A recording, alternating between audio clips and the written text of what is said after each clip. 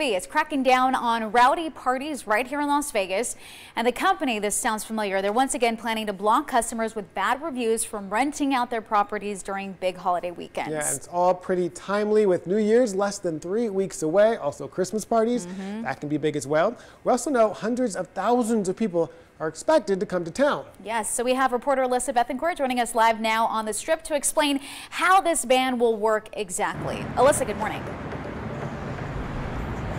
Hey there, Kalina. Good morning to you. Look, Airbnb wants to keep the parties here on the strip and out of your neighborhood. Last year, they tried this same strategy on New Year's, and they were able to stop nearly 1,500 people from booking on their website. So the plan this year is to block one night reservations for people with negative reviews on their platform or people with no reviews at all. This will prevent them from booking home listings in Las Vegas or anywhere else in the country.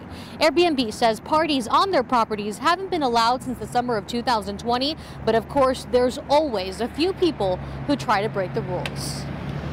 It's one thing to have a policy, it's another to you know do our very best to enforce that policy and to uh, acknowledge the reality that there are always going to be people out there who don't care about that rule and who try to break that rule. Um, so they're throwing that party without the knowledge, without the consent of that local Airbnb hosts, and that's a big problem. That's not something we we would allow, um, and and we're kind of pulling out all the stops to try to stop that.